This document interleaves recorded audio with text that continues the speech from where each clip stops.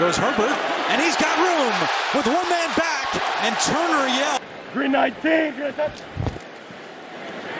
Flea flicker. Fields gets decked, and it's caught on the juggle. Was he in bounds? Yes! St. Brown was able to reel it in. Oh, for the Bears, trying to add to their lead. Play fake. Fields rolling right. He's going to turn it up, or is he going to throw it? He does! Touchdown! For Cole Kmet. Examples of other teams. Last week they played the Kansas City Chiefs, and they do the same thing with Russell with Patrick Mahomes. He runs to the line of scrimmage, waits for the defense to commit, and then throws the ball or runs it. Great job by Justin Fields here, locating.